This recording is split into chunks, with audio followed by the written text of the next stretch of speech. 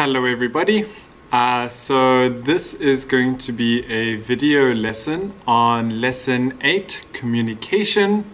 You can find it in page 152 and the topic for today is all your dreams are worth chasing.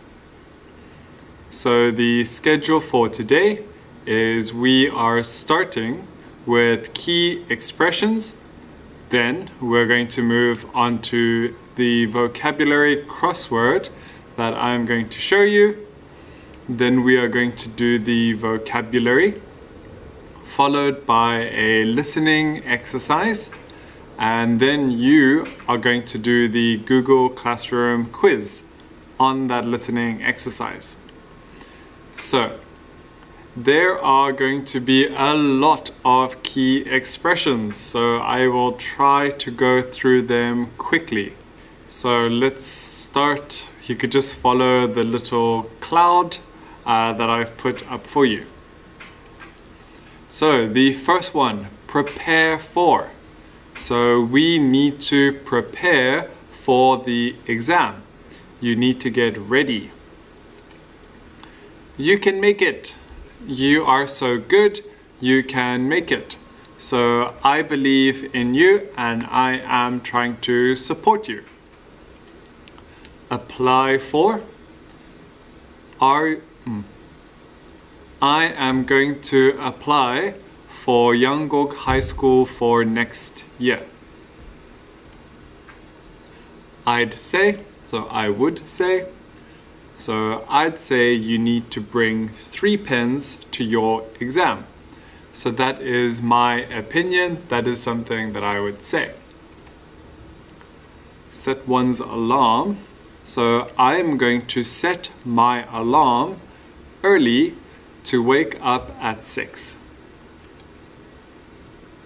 Do one's hair. So before I go to school, I spend 10 minutes doing my hair. So fixing my hair. Traffic jam. So between 5 and 7 there is a big traffic jam going into Seoul. Get off. So you must get off the bus at the next stop. Used to. I used to have short hair, now I have long hair. Lots of examples about hair. Not anymore. So, for my diet, I am not going to eat candy anymore. So that's why I'm not going to do this anymore. Over and over. So I must keep practicing my guitar over and over if I want to be good one day. So do it a lot, again and again, over and over. Okay, key expressions, two out of three. There's going to be a lot, I'm sorry. So go after.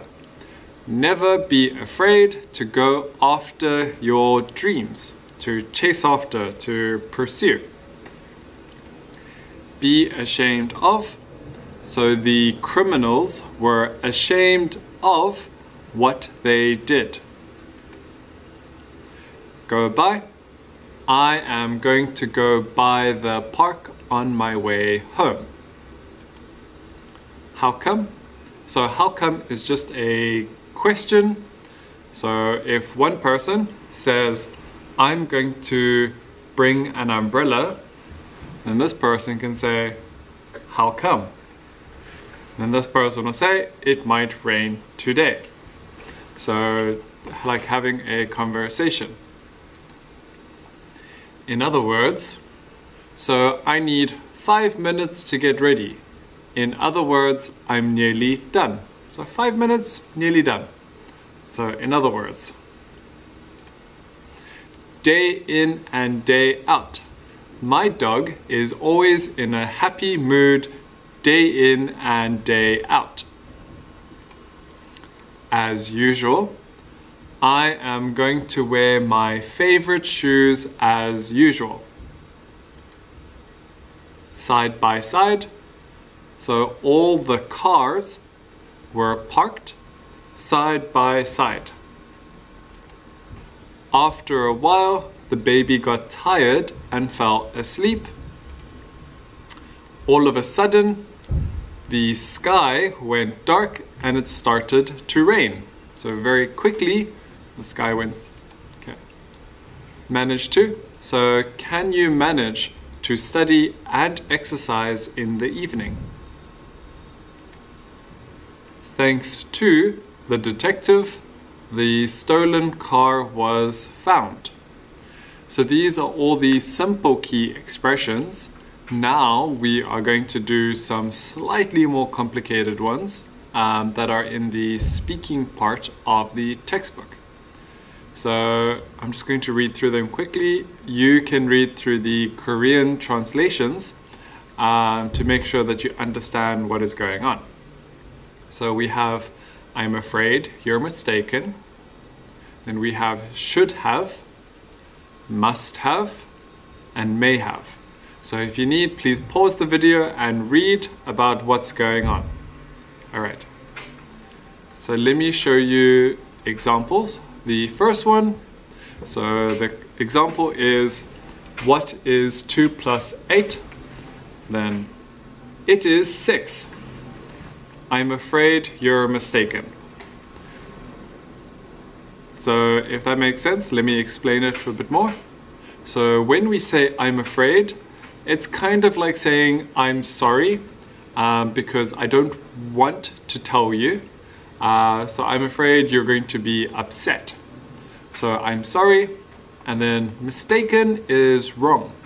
So another word, or in other words, um, I'm sorry, you are wrong. I'm afraid you're mistaken. Okay, that was the easy one. Now let's do should have. So I did very badly in my test. I should have studied. So I want you to try remember, so what is it, hu hada? So regret. I should have. So as in, I wish I can go back in time and fix something. So I should have. I should have gone back in, I, back in time. I should have done that. The next one, he did very badly in his test. He must have forgotten to study. So must have is there is it's called causation. So ingwa guange. Um, this happened because that happened. So that happened, so this must have happened, if that makes sense. Okay, and then the last key expression that we're going to focus on is may have. So, your friend looks tired. She may have gone to bed late. So the important thing about may have is that we don't know. We're not sure. Maybe she went to bed early, maybe she went to bed late and now she's tired. Or she is tired from something else. So with may have, it's a maybe, so like amado, this happened because that happened. It's possible, but we don't know. That's the important one. So now I've got some examples between must have, should have, may have. Um, so if we look at the tire, the tire is flat. Um, so what do you think? I must have gotten a puncture. I should have gotten a puncture. I may have gotten a puncture. Okay, tell me. Okay, I want you to figure it out because I'm going to show you the answer in three, two, one. So I must have gotten a puncture because we can see the tire is flat so it's not may have it's not possible that that's happened. We definitely got a puncture and then I should have gotten a puncture is different. Okay so now I dot dot dot checked my tire last night. Um, so I must have checked my tire last night. I should have checked my tire last night or I may have checked my tire last night. Okay, pause the video and try figure out which one. Okay, because I'm going to tell you in three, two, one. I should have checked my tire last night. Okay, now the next one.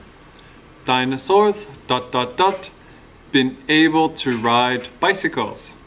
So dinosaurs must have, dinosaurs should have, or dinosaurs may have been able to ride the bicycles. Quickly pause, figure it out. Goes three, two, one. And we have dinosaurs may have because we don't know. Maybe it happened, maybe it didn't. But dinosaurs lived millions and millions of years ago, so we will never know. The next one, I something forgotten to charge my phone last night. Now, you can try to tell me what the answer is, or pause. So the answer is, I must have forgotten to charge my phone last night because, oh, it's in the sentence, because it is flat. We can change it slightly to say I dot dot dot charged my phone last night. Now should we must have, should have, or may have? Because also it's flat, but now we've changed the sentence slightly. So what do you think it is? Three, two, one. And we have, I should have charged my phone last night. So I regret it and I wish I could go back in time and fix it. The next one, okay, I'm gonna go through this one quickly. I must have, should have, may have forgotten how to swim. Three, two, one. I may have forgotten how to swim, as in I am scared and I am not sure if I can swim. So you can see the little girl is scared. So the little girl over here. Um, you dot dot dot studied hard for the test and you got an F. So what do we think that means? Out of context, you should have studied hard for the test. I can change it, but this time we have an A. So you something something studied hard for the test and we will say must have studied hard for the test to get an A. So you should have studied hard for the test to not get an F. You must have studied hard for the test to get an A. Okay, so here is the crossword that I have made for you. This is going to include all the vocabulary terms. There are 30 vocabulary terms. And I think just for the fun of it, um, I have made a secret word. So you can see there's the main one, number 14 down. It says secret word. You must try and figure out what that um, word is. Okay. Um, and that's just going to be fun. I might make it a bonus question in the quiz if you want. So let's say three points, bonus points in the quiz. So I am just going to go through these vocabulary terms. I will read them quickly and you can pause, read the Korean subtitles, but I will read them for you to practice the pronunciation and how they sound. Okay, so let's go. Express, quite, imagination, completely, stuck, mistaken, connect, challenging, league, found.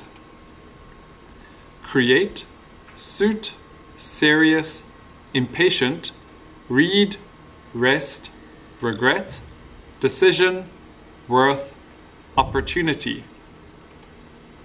Repair, offer, pick, cycle, thick, scream, dirt, breathe, relief, manager. Okay, so these are words that you will see and hear in the listening exercise, the dialogues, as well as the whole lesson 8 chapter and the reading part.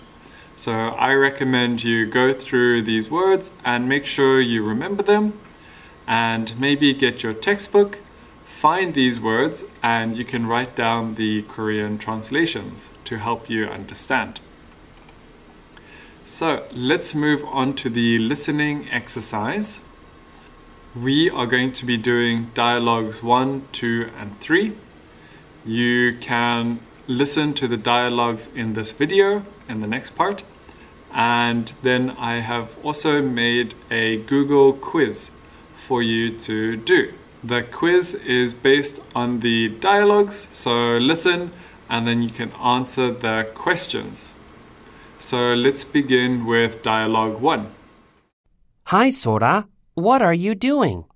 I'm drawing cartoons. I'm preparing for the exam for Mana Animation High School.